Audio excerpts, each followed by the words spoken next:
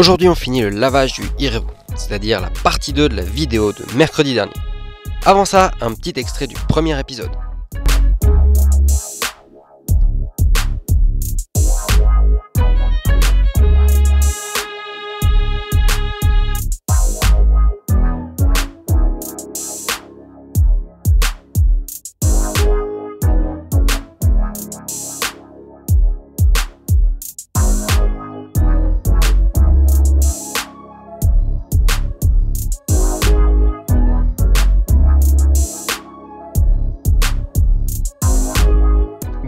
On continue. Allez, c'est parti Action Alors, on avait arrêté le premier épisode de démontage des roues. Il convient maintenant de les laver. Alors pour cela, il faut regarder si elles sont très sales. Les notes sont plus trop propres et la bande de roulement n'a ni terre ni sable. Dans ce cas, il suffit d'un coup de soufflette à l'intérieur et à l'extérieur de chaque jante, de sorte à faire partir les différentes saletés. Si elles sont plus encrassées, n'hésitez pas à prendre de l'eau et une brosse à dents pour les récurer plus en profondeur et aussi passer à l'eau la bande de roulement. Tant que les roues sont démontées, on en profite pour passer un coup de soufflette ou de compresseur au niveau des moyeux de roue et sur l'arbre de direction et de suspension.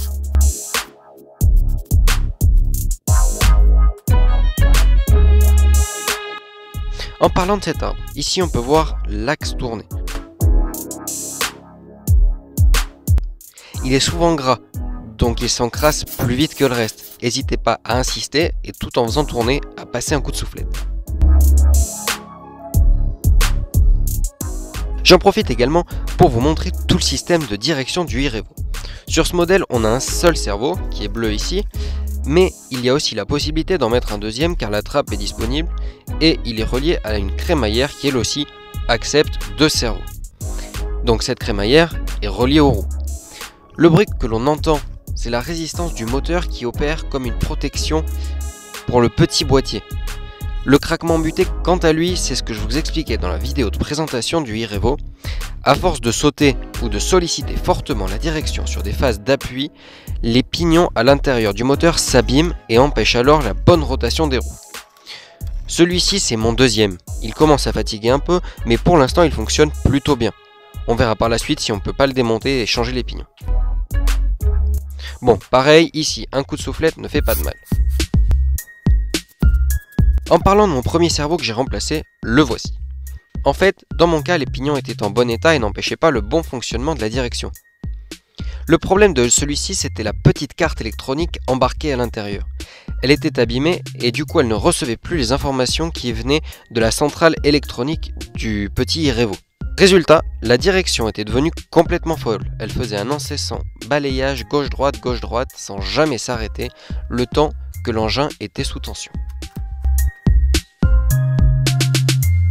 Bon, on referme la parenthèse et on revient à notre tuto nettoyage. Maintenant, on remonte les roues. On replace les roues sur leurs axes, on remet l'écrou que l'on visse à l'aide de l'outil préalablement utilisé pour le démontage.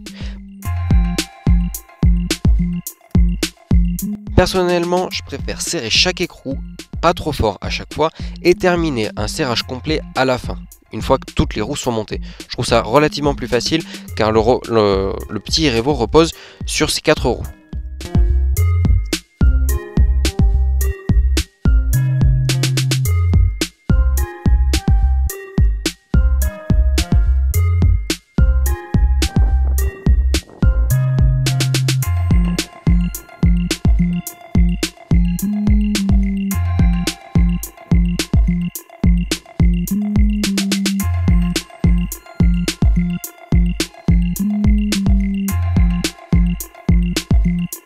Une fois remonté, on passe au remontage maintenant de l'aileron. Comme vous pouvez le constater, on a des petits détrompeurs sur le support de l'aileron. Et sur l'aileron, on a bien sûr les empreintes qui correspondent. On place alors l'aileron dessus.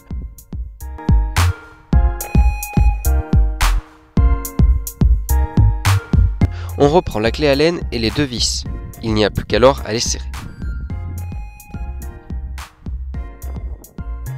Pareil, ici, il est préférable de monter les deux l'une après l'autre sans trop serrer et de finir le serrage une fois les deux vis en place car le support en plastique est relativement fragile et vous risquez de le tordre.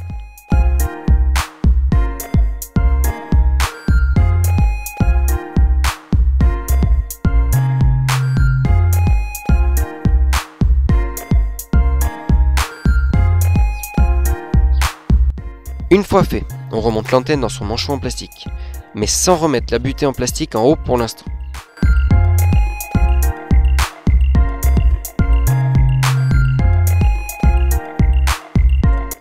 On passe maintenant à la carrosserie. La mienne commence à être un petit peu abîmée, mais pour l'instant il n'y a pas de grosses fissures.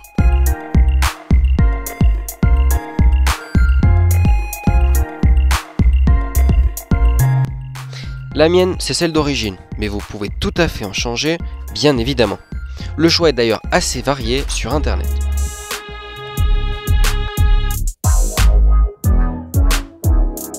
Pour nettoyer la coque, vous prenez donc le chiffon humide que vous avez préalablement préparé. Vous frottez sur la carrosserie là où il y a des impacts de boue et le tour est joué.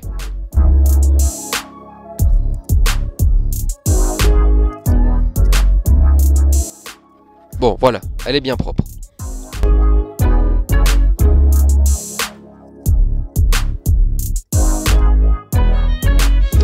Alors maintenant, on passe au remontage d'une pièce que j'avais un peu passé sous silence durant le premier épisode. Il s'agit du petit doubleur. Cette pièce pour moi me semble essentielle. Et je trouve ça d'ailleurs aberrant que Traxax ne la fournisse pas avec le véhicule d'office dans la boîte. Alors, à quoi ça sert? Eh bien, tout simplement, à la base, le moteur n'a qu'une prise de branchement de batterie, ce qui n'autorise pas une utilisation supérieure à 15 minutes sans changer de batterie. Donc après, il faut redémonter tout et remettre une batterie. Cependant, le petit engin possède deux compartiments à batterie. Ainsi, avec ce doubleur, vous pouvez brancher deux batteries à la fois. A noter, il existe deux types de doubleurs. Le premier pour augmenter la puissance et le second pour augmenter l'autonomie. Perso, j'ai opté pour l'extension d'autonomie. Une fois fait, il suffit de repasser l'antenne dans la carrosserie. On place cette dernière sur son emplacement et on vient la bloquer avec les petites goupilles. Vous pouvez voir d'ailleurs qu'à l'avant, il y a un petit détrompeur pour bien centrer la coque.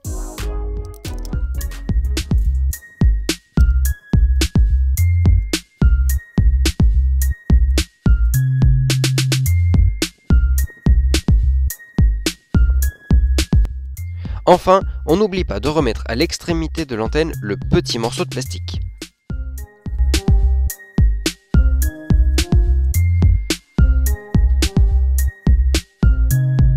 Voilà, c'est fini. Il est tout propre.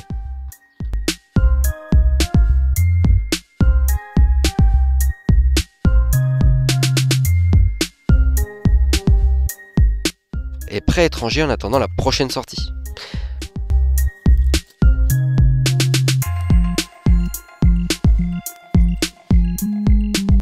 En attendant la prochaine vidéo de mercredi, je vous donne rendez-vous sur Twitter pour de l'actu et surtout sur mon compte Instagram car dès demain on commence la semaine thématique mensuelle avec le hashtag FCF Week sur le thème cette fois-ci des cabriolets à la fois soft-top, hard-top et targa.